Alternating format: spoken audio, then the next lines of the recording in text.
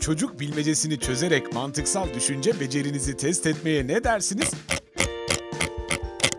Günümüz dünyasında sıra dışı mantıksal düşünme becerilerine pek sık rastlanmıyor. Peki siz buna sahip misiniz?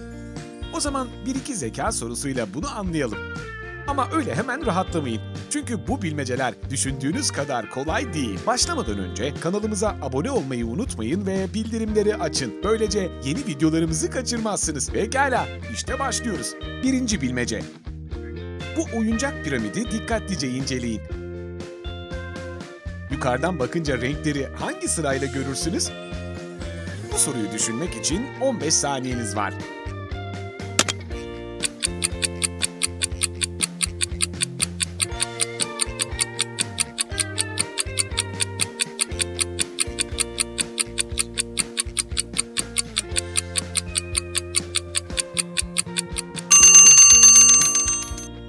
Cevabınız hazır mı? O kadar da zor değil. Piramide tekrar dikkatlice bakın. Yukarıdan renkler şu sırayla görünür. Mor, mavi, yeşil, sarı ve kırmızı. Çocuk oyuncağı. İkinci bilmece. Bir adam cam bir panoya üç kelime yazdı. Fakat pano aniden düşerek paramparça oldu. İşte üstünde harfler olan birkaç parçası. Bu üç harf grubunun her biri bir kelime oluşturuyor. Kelimelerin neler olduğunu ve hangisinin diğerlerinden farklı olduğunu bulabilir misiniz? Hızlı düşünün. Sadece 15 saniyeniz var.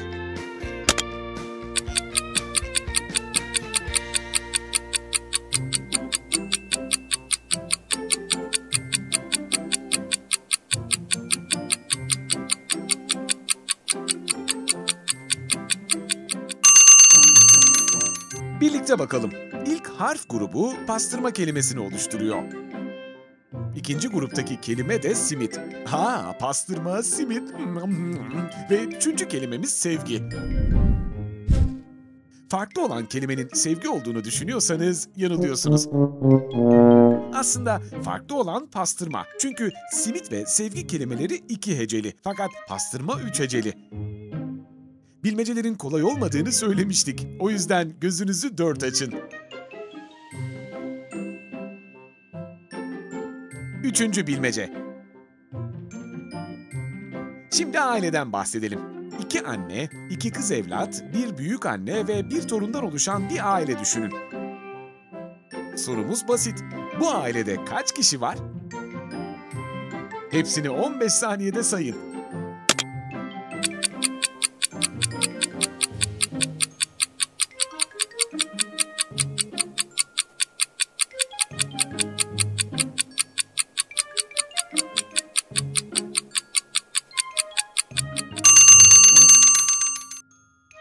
Bulmacayı çözmek için bir insanın her zaman tek bir şey olmadığını unutmayın.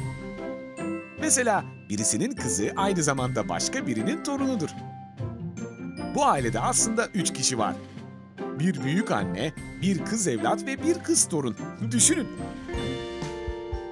Büyük anne kızının annesi. Kızı da torununun annesi. Galiba aile bağları bazen çok karmaşık olabiliyor. Dördüncü bilmece. Bu şekle dikkatlice bakın. Şimdi bu şekilleri o yana ya da bu yana döndürürseniz ne olacağına bakın. Bu üç şekilden biri diğerlerinden farklı. Onu görebiliyor musunuz? Süre başladı.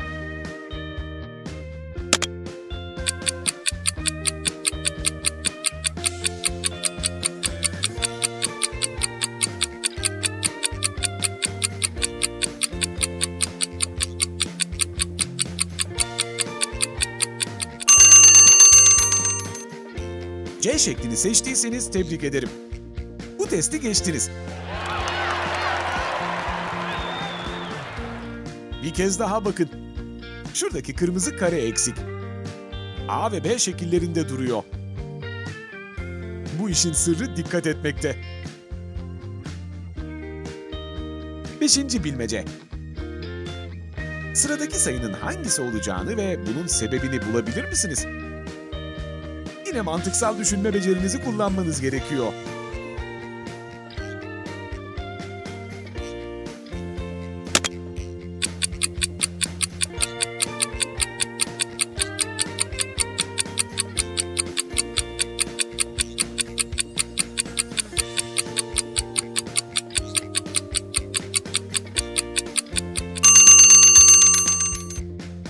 Doğru cevap 23.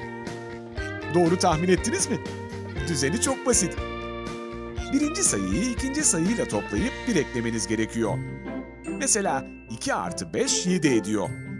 Artı 1 eşittir 8. Sonra 5 artı 8 13 ediyor. 1 eklersek 14 yapıyor. Son olarak 8 artı 14 eşittir 22, 22 artı 1 de 23 yapar. İşte böyle. Altıncı bilmece. Bu dört harf kombinasyonuna bakın. Her biri ünlü bir insanın soyadını meydana getiriyor. Göreviniz basit. Bu soyadları bulun ve aralarında hangisinin farklı olduğunu söyleyin. 15 saniyeniz şimdi başlıyor.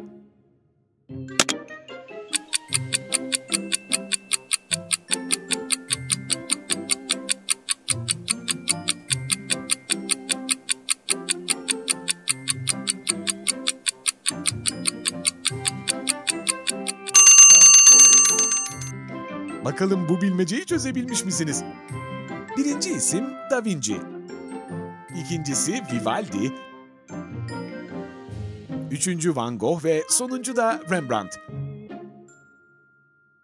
Bu kısmı doğru cevapladıysanız büyük olasılıkla farklı olanın Vivaldi olduğunu da bulmuşsunuzdur. Ne de olsa ressam listesindeki tek besteci o. Bravo! Yedinci bilmece. Bir kütüphanede bir kitap rafı var.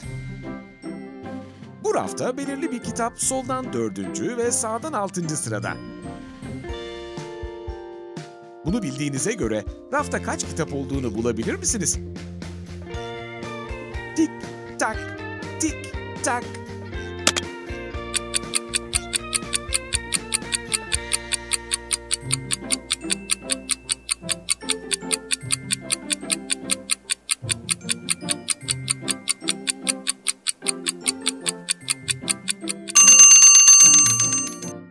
Cevabınız 9 buldunuz.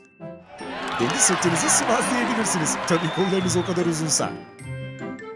Kitap soldan dördüncü ise ondan önce üç kitap var demektir. Sağdan altıncı ise ondan sonra beş kitap vardır. 5 artı 3 8 eder. Bir de bahsi geçen kitabı eklersek 9 sonucuna ulaşırız. 8. bilmece. B, I, Ü, D, B, A, Y. Bu dizide 3 harf daha olmalı. Peki o harfler ne? 15 saniyenizi bu bilmeceyi çözmek için kullanın.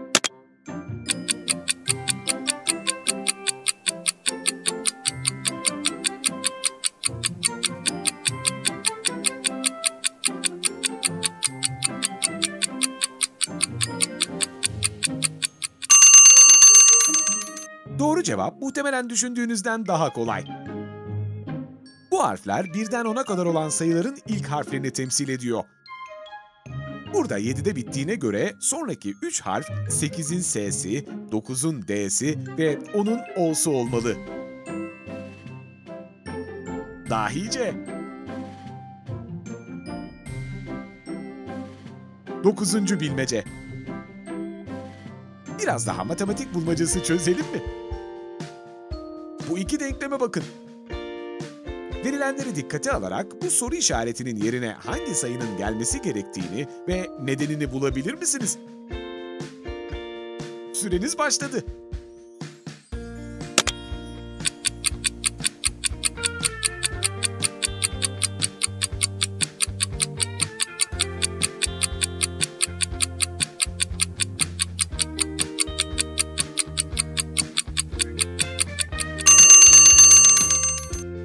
Denklemdeki sayılar bu resimlerdeki düz çizgilerin kaç kez kesiştiğini gösteriyor. Birincisine dikkatlice bakarsanız 9 kesişim noktası göreceksiniz. Son resimde ise sadece 4 kesişim görünüyor. İşte cevabınız. 10. bilmece. İşte size başka bir sayı dizisi. Buradaki hatayı bulabilir misiniz? Geleneksel 15 saniyemiz başladı.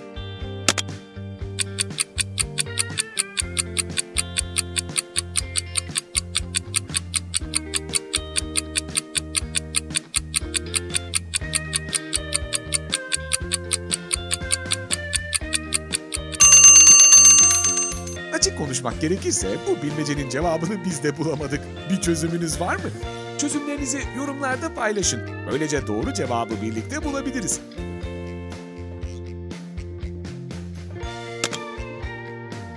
Bu bilmecelerden kaçını doğru yaptınız? Aşağıdaki yorumlarda 10. sorunun cevabıyla birlikte paylaşın.